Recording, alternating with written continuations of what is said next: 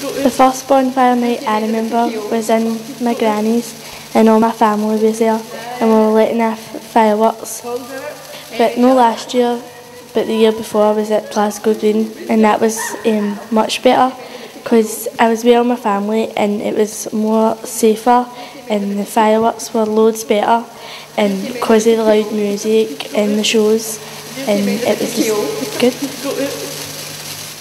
I remember when I was four and I was in the laundrette with my mum and it was just before bonfire night and suddenly the door opened and someone threw a rocket in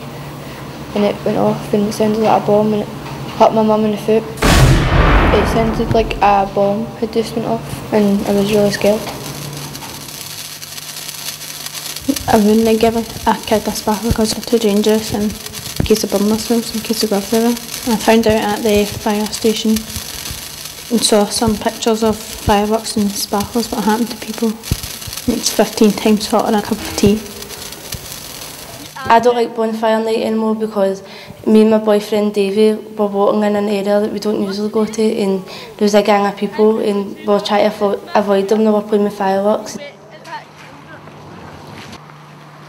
They came over and went through um, a firework and hurt Davey and there was just a big bang and there was blood all rushing um, down his face and I, I just panicked and uh, I phoned an ambulance and he got rushed to hospital and he's scarred for life and me the two don't like bonfire night anymore.